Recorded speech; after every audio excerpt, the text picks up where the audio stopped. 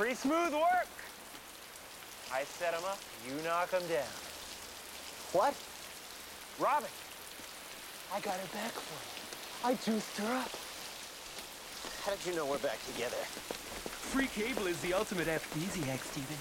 I don't want you messing around with my life. I know. I felt bad about the other night. I wanted to make it up to you. So what are you doing? You want to catch a flick?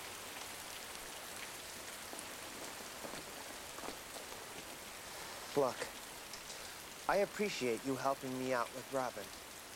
But you have to understand, I'm going to have to work extra hard to not screw this relationship up again. You're a very nice guy, but I just don't have any room in my life for a new friend. Okay? So what are you trying to say?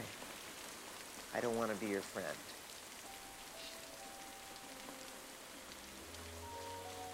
I appreciate your honesty.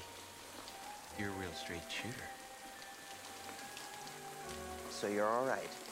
Hey, I'm a big boy. It's no big deal. Whatever.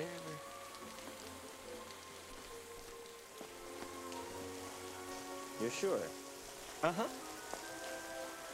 I'm fine.